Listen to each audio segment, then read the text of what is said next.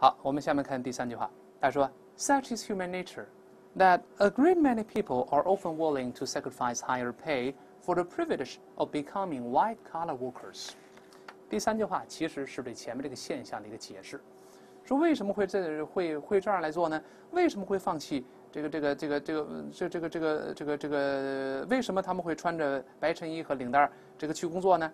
呃，因为很多人都愿意当白领嘛，他显得有身份有地位。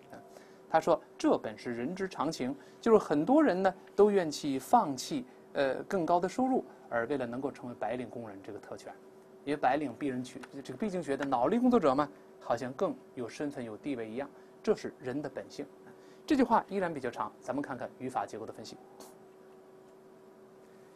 句的主干结构是逗号前的这个白颜色的字体，叫 “Such is human nature”，这是人的本性，人的天性。这个 such 呢放在句首，注意后面引起了一个倒装。Such is human nature，正常语序是 human nature is such，人的本性就是这样。这个倒装我们到下课书第五课中会详细讲解。咱们知道 such 放在句首后面要有一个部分倒装，be 动词前置就好了。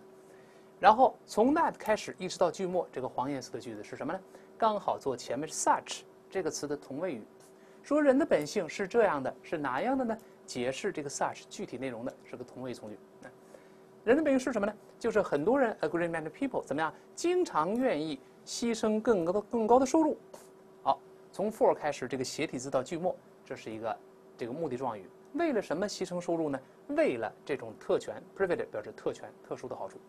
同时，这个为什么用 for 呢？这个 for 同时也是跟 sacrifice 固定搭配。咱们词汇中讲过，sacrifice A for B，为了 B 来牺牲 A，是目的状语。什么特权呢？后面这个 of becoming white-collar workers 是一个介词短语，当后置定语修饰这个特权，成为白领工人的这种特殊的好处。好，咱们把语法成分分析完之后，下面看看词法的一些细节。这是人的本性，人的天性。这个 nature 这个词，咱们看一下，它表示人的本性或者是天性。人的本性在这儿不是自然的意思啊。你看几个人坐在一块聊天这个人突然间一皱眉头，对不起，我得出去一下。Excuse me, nature calls。呃，对不起，是不是叫 nature 的人给我打电话了？不是，什么叫 nature calls 呢？本性在召唤，什么意思？哎呀，内急，我得去尿泡尿。但你说几个朋友坐在一块儿，都是董事长说对不起，我尿尿去，这不好意思这么说吗？哎，nature calls 就好了，就本性在大脑里给打电话，哎，要尿尿了，要不然尿裤了，回去吧，哎。Nature calls。再比如说这句话，He's kind by nature，什么意思呢？这个人本性上是很善良的。一个人本性上、本质上怎么样？叫 by nature。顺便可以记住，啊，这个人他本善良，可以这么说。那么以后呢，我们就可以把这个结构把它背下来，叫这是人之常情，人的天性。Such is human nature that，把这结构干脆就背下来了。这个结构非常漂亮，而且呢，它侧重于这个 such。放在句首强调了吗？对，一般同学呢可能会这么写：It is human nature that，这是人的天性。前面这个 is 呢用形式主语，后面呢再用这个主语从句，这当然从语法是正确的。但你前面用这个 it，后面再加 that 的话，这个强调的意味就不强了啊。在上一句话是不是强调人的本性就是这样的？这就是人的天性。such 放在句首有强调的这个味道。这个结构能背下来，生活中拿过来就可以用了。那比如说，我说。我们大家都喜欢免费得到东西，这是人的本性，都贪小便宜儿。我们都喜欢免费得到东西。Such is human nature that we'll love to get something for nothing. For nothing 叫做免费的，这个到了未来二十六课咱们会碰到。哎，我们大家都喜欢免费得到东西，这是人的天性嘛？再看一个句子，直到失去的时候才懂得珍惜，这是人的本性。不经过教育是不明白这个道理的啊。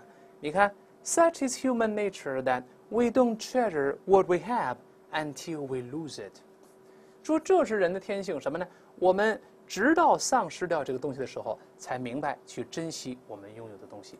这个 treasure 在这当及物动词来用，就是珍惜、珍爱。treasure 当名词是金银财宝，做动词呢，视之如珍宝一般。直到失去它，才懂得珍惜，这人的天性嘛，人的本性嘛，就这样的啊。我们下面再。看一看这句话怎么说了？放在 such 放在句首用了一个倒装。正常语序是这样的 human nature is such that 说人的天性是这样的，后面 that 做 such 的这个同位从句。但是本文中呢，如果用正常语序的话，同样这个 such 强调的意味也是没有那么浓了，因为放在句中位置不够醒目，放在句首是比较醒目的关键位置，就这是人的天性。但这个倒装绝对不是必须的，如果不强调的话，把 such 放在句中也是可以的。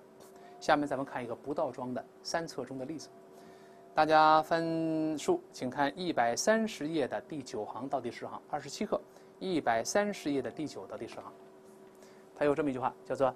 The conditions of society are such that skills have to paid for in the same way that goods are paid for at a shop。说社会里的情况啊，就是这样的，是哪样的呢？后面这个大从句一样是做前面这个 such 的同位语，就是技术呢是必须被掏钱来买的，正如我们在商店里买商品的时候，您要掏钱是一样的。大家注意，这个 such 用的是正常语序，它没有用倒装。如果把 such 强调社会的情况就是这样的，那怎么强调呢？跟本文中一样，such 放在句首，后面 are 前置，用一个倒装。Such are the conditions of society that 后面再写这个同位从句。那么这个句型就跟本文中这个第四课的完全一样。你看有陈述有倒装。亚历山大在写第三册的时候可以说苦心孤诣，把各个结构都告诉我们了。所以第三册必须当做个整体来看，而不要孤立的局限在某一篇课文里边。这样能体会亚历山大已经作古的这位老先生。他的良苦用心。好，再回到文中，大家看里边同位从句，主语是 a great many people，就很多人了，怎么样呢？Are often willing to sacrifice higher pay，经常愿意放弃更高的收入。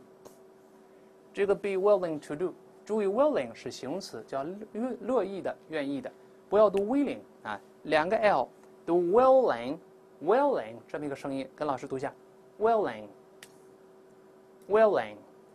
注意，不是 willing，舌尖不要勾回去。这个 l 跟汉语中那个了发音不一样，舌尖往前指，抬起来跟上牙膛粘一下，呃呃，而不是了了，不要勾舌的弹舌，舌是 ling ling，黏黏糊糊的，好像大舌头一样，而不要读 ling ling。我们再来一遍，willing willing，哎，这洋味儿就出来了。叫乐意做某事，be willing to do，这是个系表结构，再加动词不定式。注意，这个 willing 是形容词。啊，我们再看一看二十八课一百三十四页的第十七行，一百三十四页的第十七行，他说：“I shook my head and held up five fingers, indicating that I was willing to pay five pounds。”我摇了摇脑袋，并且伸出五个手指头来表示我愿意出五英镑。这个 be willing to do 叫我愿意支付五英镑，是愿意、乐意用的这个搭配是一样的。咱们顺便可以同时记住。那么跟它类似的还有好多好多乐意的、愿意的，而且下面一些更容易翻译错了。比如说这个 be ready to do Be ready to do，大家很容易把它翻译成准备好去做某事，但是一般我们不这么翻译。如果 ready 表示准备好，它常见搭配是后面加介词 for，be ready for something，为什么做好准备？但是如果加动词不定式 to do，一般情况下要翻译成乐意或者是愿意。我们看一个在商务英语中的一个例句。我们跟外商谈判时可能会这么说：说 If your order is large enough, we're ready to reduce our prices by five percent。说如果您的这个订单，您预定这个订货，如果要是足够大的话，那我们愿意呢把我们的价格那么砍下来百分之五左右。就如果您订单够大的话，我们用批发价，呃，价格优惠百分之五。你看这个，We're ready to do"，并不是我们准备好，而是我们乐意、愿意。注意翻译。跟它类似的还有一个，也是特别容易翻译错的，叫 "Be prepared to do"，也是不要翻译成准备好去做某事。因为 "prepared" 这个词如果表示准备好的话，后面一般也是加介词 for。We are prepared for the storm。我们已经为暴风雨做好准备了，对吧？但如果加 to do，要翻译成乐意。或者是愿意，这个容易翻译错。咱们同样看一些例子。我们看一下，在第四十一课一百九十二页的第十四行，一百九十二页第十四行有这么一句话，他说：“Why people are prepared to tolerate a four-hour journey each day for the dubious privilege of living in the country is beyond me。”前面这个 why 引导的是个主语从句啊。他说：“为什么人们乐意忍受？”每一天四小时的路程，就是为了这种所谓的特权、可疑的特权 （dubious） 叫可疑的 （privilege），刚刚见过叫特权。什么特权呢？还是用 of 引出这个特，这个这后置定语什么的特权呢？就是住在农村这种所谓的特权，简直我是无法理解的。这 is beyond me 是整句话的这个谓语，前面 why 是主语从句。那么这是乐意愿意做某事，be prepared to do，一定注意不要翻译成准备好了忍受，还是乐意愿意。那么它的反义词如果不乐意呢？咱们常见搭配，常用的有这两个，第一个叫 be unwilling to do，在 willing 前面加疑问就好了，这个好记啊。第二个叫 be reluctant to do，reluctant 也是勉强的、不情愿的。这两个搭配咱们可以同时记住。把第二个词大声读一遍，reluctant。再来一遍，reluctant。注意后面也是加动词不定式，叫不乐意做某事。咱们拓展自己表达，咱们看一看，在四十八课里面二百二十页的第十七行，二百二十页的第十七行，他这么说：Though he was reluctant to do so at first, we eventually persuaded him to take us。尽管他在一开始的时候呢，不愿意这么来做，我们最终说服他，还是把我们搭过去了，还是这么做了。哎，be reluctant to do 叫不乐意、不愿意这么做。这个可以顺便同时记住。好，再回到句中。本文中说愿意干嘛呢？愿意牺牲 sacrifice，牺牲更高的收入 higher pay。为什么呢？For 我们讲了，for 是跟前面这个 sacrifice 搭配的。为了什么呢？为了这种特权、特殊的好处，the privilege。什么好处？Of becoming white-collar workers，成为白领工人的这个好处。为了什么什么的好处？它用的是 for the privilege of 哒哒哒，这个搭配。这个结构我们在刚才四十一课的句子中是不是也见到的呢？只不过四十一课用的更难。咱们再次回顾。一百九十二页的第十四行，一百九十二第十四行，他说：“为什么人们愿意每天忍受四小时路程？注意后面，for the dubious privilege of living in the country，为了能够住在农村这种可疑的所谓的好处，简直我是无法理解的。他只不过在前面加了一个修饰语 dubious，叫做可疑的、靠不住的、所谓的。看到这个难度是慢慢在提高，不光是课文在变难，表达也越来越复杂。”这新概念三册是循序渐进的，有复杂，有新知识，这刚好是孔子说“温故而知新”这么一个，呃，这个这个循序渐进的教材的这个安排，非常科学。好，下面看第四句话，他说这一点呢会导致奇怪的现象了。This can give rise to curious situations, as it did in the case of Alfred Blocks, who worked as a dustman for the Elsmere Corporation。这句话也比较长，咱们还是先看看这句话的这个语法结构的分析。前面这个白颜色的依然是句的主干，说这这个 this 这个 this 指的就是上一句话里边那个同位语从句，就人们愿意放弃高收入而成为白领工人这种特权，这个事儿怎么样呢？可能会导致奇怪的现象。好，这个主句已经结束了，后面这个 as 开始一直到句末，这明显是由 as 引导的一个方式状语从句，正如什么什么那样，从 as 开始一直到句末，正如呢，it did in the case of 这个 it 指的是什么呢？其实就是主句主语 this，也就是上一句话那个同位从句，人们愿意放弃高薪，成为这个呃白领工人这个特权。这个 did 当然可以代替前面出现过的动词短语，代替什么呢？就是 give rise to curious situations，会导致奇特的现象。主句中整个的谓语，只不过在这是一般过去时，可以把 give 换成 gave，所以这个 did 相当于 gave rise to curious situations，正如这会导致奇怪的现象在这个例子里边发生的那样。这就好理解了。哪个例子呢？Alfred Blocks，阿尔弗雷德·布洛克斯。这个人是谁呢？后面画横线的部分是由关系代词 who 引导的一个定语从句，嵌套在这个方式状语从句内部，修饰先行词阿尔弗雷德·布洛克斯。他是在阿尔奇梅公司工作的一名垃圾工。后置定语来解释他的身份。好，下面咱们看看里边的一些具体的一些细节。首先，第一个值得咱们借鉴的重点表达就是 give rise to，导致。这个导致非常适合写作中使用。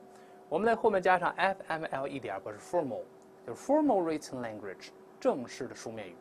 注意，to 是介词导致，用在写作中特别贴切，口语中不适合使用。啊咱们看一个例子，比如说，The president's absence gave rise to speculations about his health。这个总统的缺席，缺席导致了对他健康的推测。我们知道 speculation 可以表示推测、推断、或者表示投机炒股票，投机买卖也是推测股票是涨是跌吗？所以用同一个词，我们再读一下这个词：speculation。speculation。前面 absent 表示缺席，没有到场。总统的缺席导致了对他健康的种种推测，就大家议论纷纷。这么重要场合怎么会没来呢？是不是又得艾滋病了呀？哎，这个我们 give rise to 这导致比较贴切。还有跟它类似的好多，写作中导致用的太多了。咱们看另外几个导致，比如说 cause smoking can cause cancer，吸烟会导致癌症，可以用吧？或者 effect，注意 effect 当名词可以表示影响或效果，但是做及物动词得翻译成导致，类似于 cause。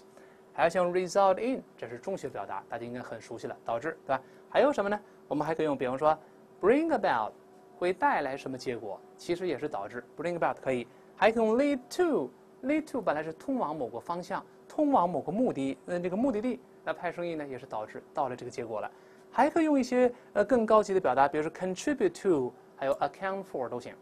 contribute to 本意是为什么什么做出贡献，大家都知道，对吧？如果 A 为 B 的发生做了贡献了，不是 A 导致 B 吗？可以吧？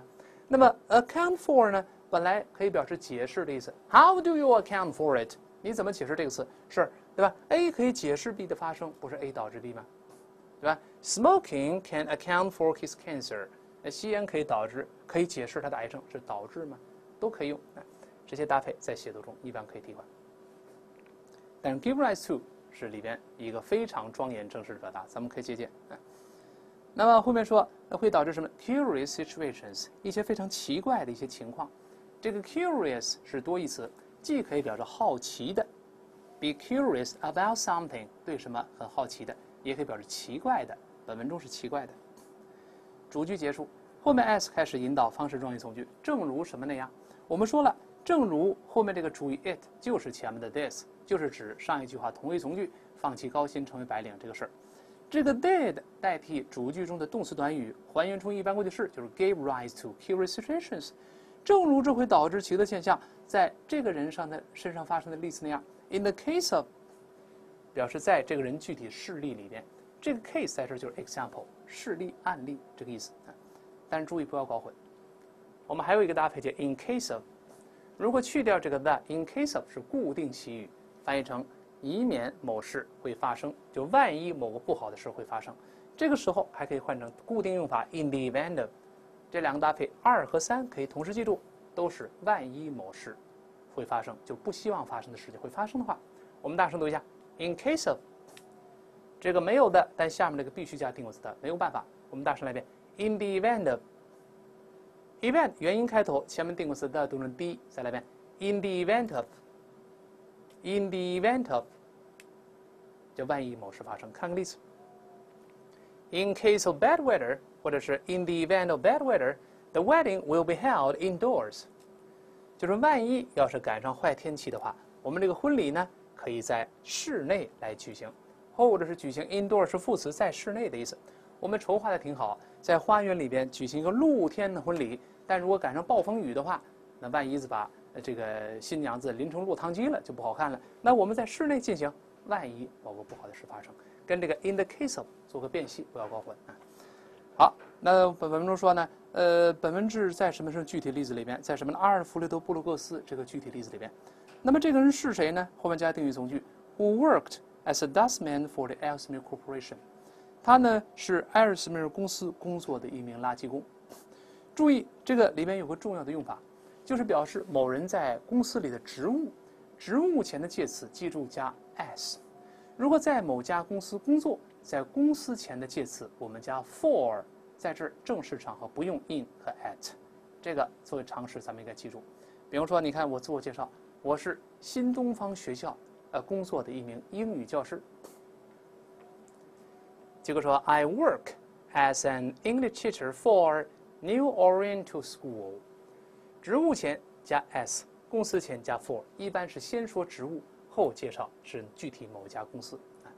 你看，我们再看一个呃范文，就是在二零零五年呃考研英语这个小作文一些是呃这个这个书信中一个范文的片段，咱们看看是怎么说的。Thank you very much for uh, having offered me such a golden opportunity to work as an editor for Designs and Fashions, a best-selling magazine renowned for its extraordinary quality and taste. 这是李老师写的一篇零五年的小作文，这个范文书信的片段啊。非常感谢您给我提供了这么一个金字般的机会， 金字般的机会，咱们在第十二课《荒岛生活》词汇中会讲到。嗯，来干嘛呢？来在为《Designs and Fashion》这个杂志，那么担任一个编辑的工作。你看，职务前面加 s，具体某公司前面加的是介词 for。你看，在写作中可以用到。那么这个杂志是是是什么杂志呢？它是一个呃非常畅销的这个杂志，畅销杂志 best selling。什么杂志呢？因为它呃与众不同、非凡的这个质量和品味而著称。Renowned 就是 famous，renowned for 就 famous for something。这可以看作一个后面的一个呃定语来修饰这个杂志。Extraordinary 大家可能还记得，在第一课咱们讲过。叫做非凡的、与众不同的、特别的，咱们还记得吗？特别的相似叫 extraordinarily similar，用它是副词结构。注意，职务前加 s，公司前加 for，这个搭配可以记住。一会儿咱们造句会再次用到。本文中说，在埃尔斯米尔公司工作的垃圾工阿尔弗德德布鲁克斯身上发生的例子那样。这句话又是个五星级重点，咱们跟老师还是把这个句子再复述一遍。我说呢，这个呃，这会导致一些奇怪的现象，正如在 Ellesmere Corporation 埃尔斯米尔公司工作的垃圾工 Dustman 这个阿尔弗德·布鲁克斯身上发生的例子那样，比较复杂，咱们尝试慢慢来啊。这会导致奇怪的现象 ，This can give rise to curious situations。逗号，写方式状语从句，as it did in the case of Alfred Blocks 在这等于从句，who worked as a dustman for the Ellesmere Corporation。再来一遍，连起来，中间不中断啊。好，从头来。This can give rise to curious situations, as it did in the case of Alfred Blocks, Who work as a dustman for the Elsmere Corporation。为什么要把这个这个句子背下来呢？因为我们发现这句子里面句型特别实用，特别实用。咱们以后用它，可以在作文中来写观点例证型的这样一些表达。就前面我们给一个观点，下面举例子证明之。正如在这个具体的这个人的例子里面那样，这个人是谁？后面再加 who 定语从句来解释说明就好了。这个如果是过去的事儿叫 did，也在在现在的事儿用 does 就好了。咱们类似的来造一个句子用一用，因为你要不用这个结构的话，搞不好写散了。你看这个句子搞不好大家自己写会写成 This can cause curious situations，这会导致奇怪现象，导致我们用简单词 cause 不会用 give rise to。然后呢，阿尔弗勒布鲁克斯就是个例子。然后他在哪儿工作？这个句子散架了，都是简单句并列，得分会齐地。我们有语法能力，我们用些复合的句子，呃，表达复杂信息的精炼、简洁但表达信息比较充沛的一个复合句，展示出语法能力，写作中容易拿高分呢。咱们试试看啊，试试看，写一个句子。压力会导致精神上的一些疾病，压力可以用名词 stress。脑袋里出毛病了，叫 mental diseases，可以用它。然后举个例子吧，你看我证明我观点，正如你看在通用汽车公司，通用汽车叫 General Motors，当常识知道就行了。工作的这工程师 Mike Johnson 身上发生的那个例子，那个情况一样，还是用 as did in the case of 这个结构。咱们复述一遍，先说主句。这个观点，我认为压力会导致精神疾病。Stress can give rise to mental diseases。举例子，as it did，背一遍。In the case of Mike Johnson，再介绍他是谁，who worked as an engineer for General Motors。